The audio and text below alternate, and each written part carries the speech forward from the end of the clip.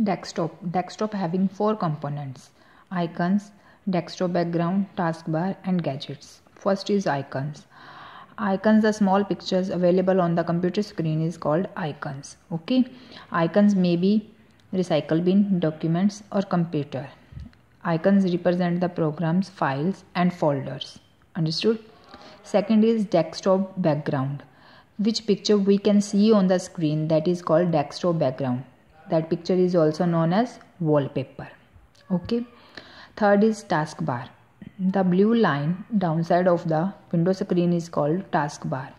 On the taskbar start button is present. When you click the start button one list will be open. Which software you want to open then you can choose from there. If you don't find the software then you can search from the search option that is available on the start button okay. You can search that software from the search option. Fourth is gadgets. Gadgets provide us information and easy to access the tools. Okay. Tools like games clock and calendar. Okay. Understood